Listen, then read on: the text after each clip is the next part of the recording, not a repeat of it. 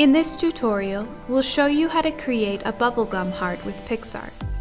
Open your picture in the photo editor and tap on the clip art icon. Select the bubblegum package and tap on the clip art you'd like to use.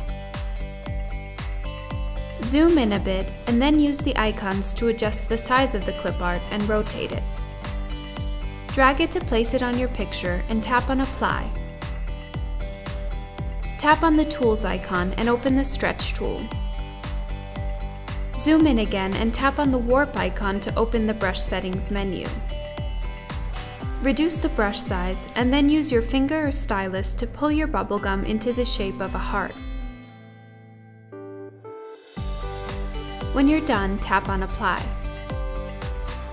Tap on the arrow icon to finish. Save your picture and share it on PicsArt with the hashtag bubblegumheart.